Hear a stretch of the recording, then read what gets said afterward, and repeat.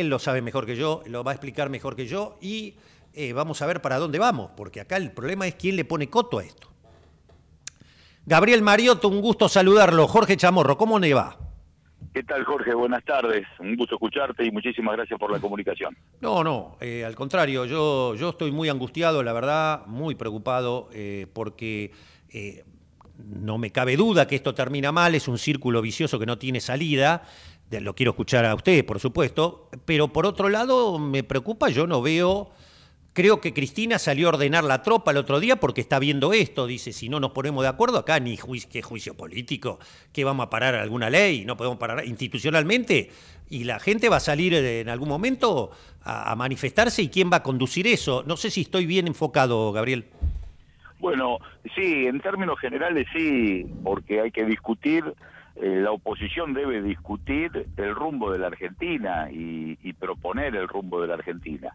El gobierno de Miley atropella con estas políticas neocoloniales, coloniales, del, interés del capital financiero, defiende a los ricos y eh, ataca a los pobres, eh, son recetas históricas. Las recetas de 1806 y 1807, ellos la, las eh, disfrazan, estoy hablando de las invasiones inglesas, pero ellos disfrazan que son recetas nuevas y son absolutamente viejas. Es eh, la codicia que tiene eh, el capital financiero con los bienes que tiene eh, la periferia, en este caso Sudamérica, en este caso Argentina. las riquezas que tenemos bajo el subsuelo, petróleo, litio, lo que fuese, y, y, los campos que generan alimentos. La Argentina tiene lo que el mundo necesita, repiten distintos sectores políticos. Eh, precisamente energía y alimentos. Y nosotros decimos, la Argentina tiene lo que los argentinos necesitamos, los que vivimos en esta patria necesitamos primero. Entonces, creo que eh, estas políticas coloniales, eh, entreguistas que lleva adelante mi ley, que están insinuadas en el DNU y en la ley ómnibus o como se llame esta que tuvo media sanción de diputados el otro día, esas políticas coloniales se pueden presentar como algo novedoso y esperanzador, digo entre comillas, porque los últimos gobiernos, incluso el último gobierno, ha sido muy malo y no ha puesto blanco sobre negro la discusión de la Argentina, ha tenido políticas absolutamente condescendientes con el Fondo Monetario Internacional, que se empatan a las políticas de Mauricio Macri, que tomó la deuda, el gobierno de Fernández la convalidó, el bloque nuestro bloque, en muchos, muchos hombres y mujeres de nuestros bloques en Senado y en diputados votaron a favor del acuerdo con el fondo. Yo creo que ahí se pulverizó la, la base electoral y generó una gran frustración. Esa frustración se canalizó en la no política y esa no política la capitalizó Javier Milei. Pero digo, si no discutimos deuda externa, si no discutimos comercio exterior, si no discutimos nuestros puertos, si no discutimos energía. El otro día Cristina habló mucho de energía, me pareció muy bien. Que hable, que hablen de los temas, eh, eh, no que hablen de los nombres y de los egos y de los cargos, sino que eh, hacia dónde vamos. Incluso Cristina dijo, en el último gobierno no pudimos hacer nada de esto que ella estaba este, desarrollando. Bueno, creo que hay que discutir qué se va a hacer en esta emergencia porque la bola que se está generando de descontento, de desánimo, de frustración, eh, va a, llevar a, la Argentina, a la sociedad argentina, a niveles que ya también conocimos cuando el 2001. Y bueno, habrá que salir de este pozo con políticas claras.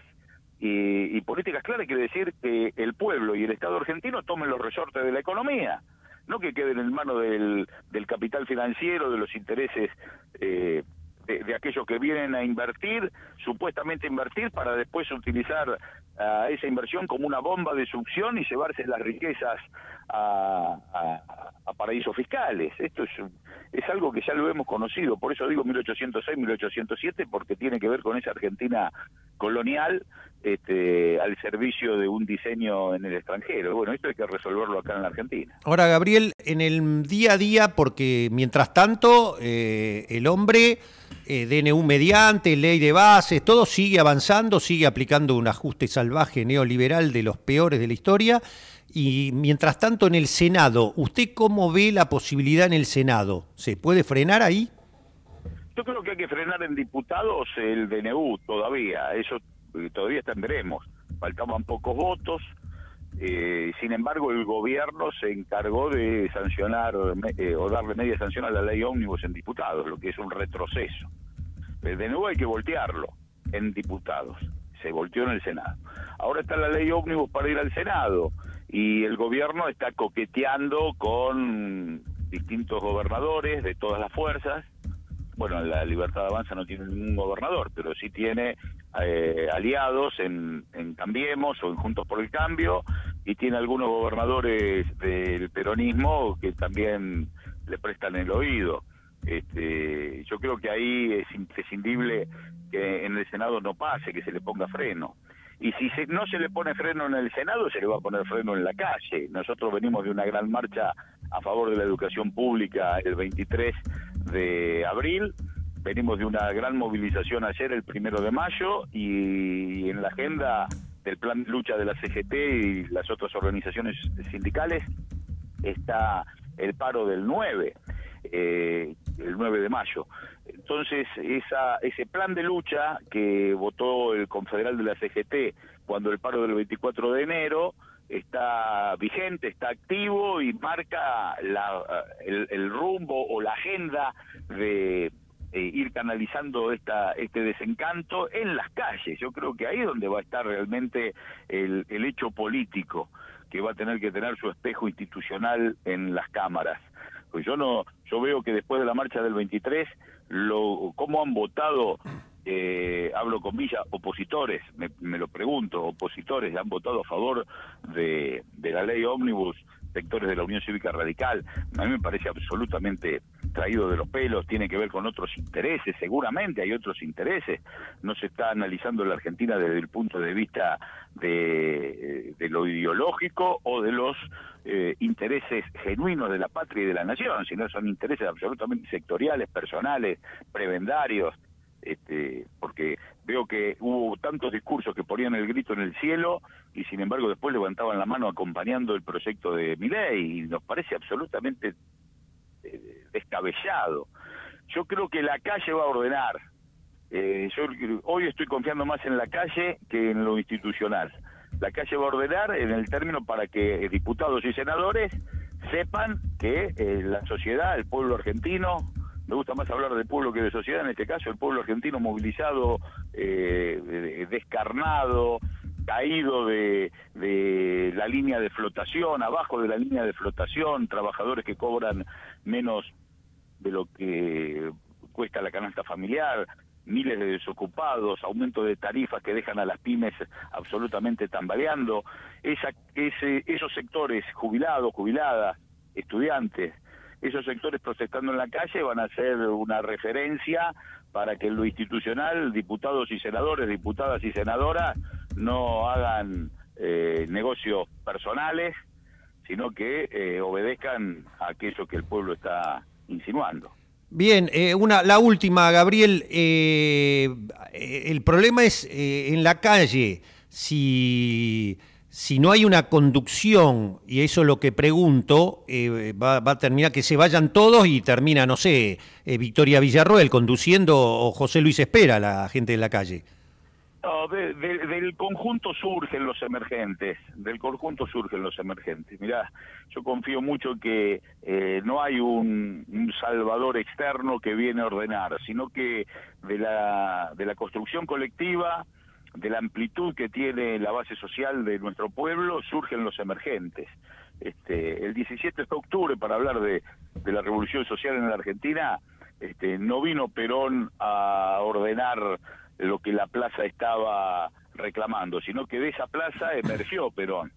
Y, y entonces es como que no tenemos que esperar un marciano que nos venga a ordenar, ¿no? Digo un marciano, alguien un, alguien un extraterrestre en, categoría de dirigente, dirigente, eh, sino que de esa crítica, de esa manifestación, de esa protesta, van a surgir los emergentes que van a encauzar esta situación.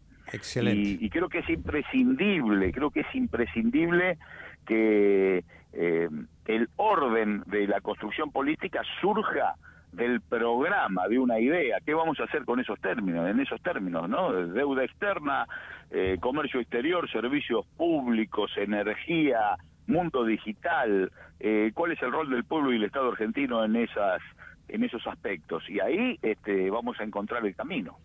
Clarísimo. Bueno, me, deja alguna esperanza, eh, porque la verdad que vengo bastante cascoteado últimamente. Gracias, Gabriel. Estamos iguales, Jorge, pero de la, de la desesperanza, de la desesperanza, de la frustración, hay que transformarla en fuerza para la reconstrucción. Excelente, clarísimo. Gracias, Gabriel, como siempre. Gracias, Jorge, un fuerte abrazo. abrazo. Eh. Gabriel Mariotto, ex candidato a presidente, eh, ex vicegobernador de la provincia de Buenos Aires.